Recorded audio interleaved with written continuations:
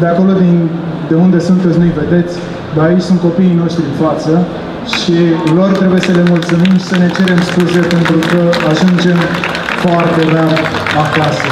Dar sunt convins că România pe care noi o construim acum, fiecare dintre noi, o vom lăsa moștenire acestor copii. Așa că, puștilor, mulțumim!